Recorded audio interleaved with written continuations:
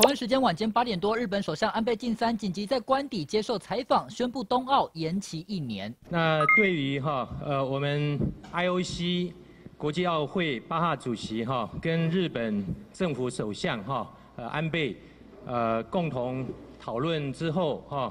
避免我们全球运动员在准备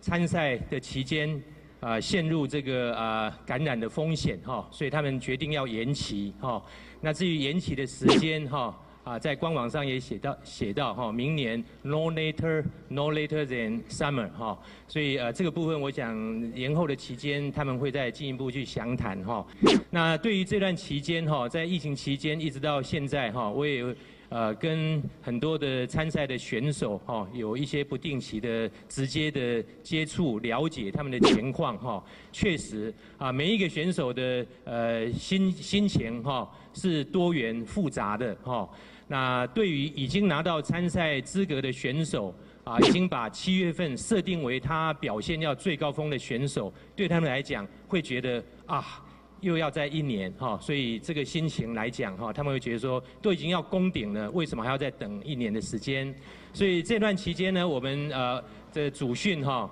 除了过去有的运科、运医哈防疫之外，我们会在加强心理智商辅导哈，更了解这些啊运动员这段期间跟面对未来哈有更多不确定性的时候，他怎么调整，给他们更多的支持哈。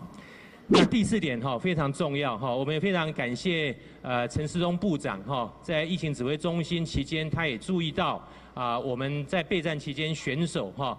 出国返国之后都有一些防疫跟啊回国之后的居家检疫、居家隔离哈这些又要兼顾训练这样的一个需求，所以我们从二月开始就跟疫情指挥中心有密切的呃呃沟通，那实质上啊疫情指挥中心也对我们的啊，奥运的参赛选手、教练团哈，有非常多实质上的协助哈。那同时哈，同时呃，各位可能也会关心哈，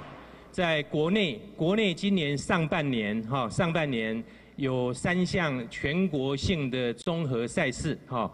那确实考量最近台湾的疫情哈，啊，越来越吃紧哈，越来越严重哈。那经过我们最近这几天在跟呃。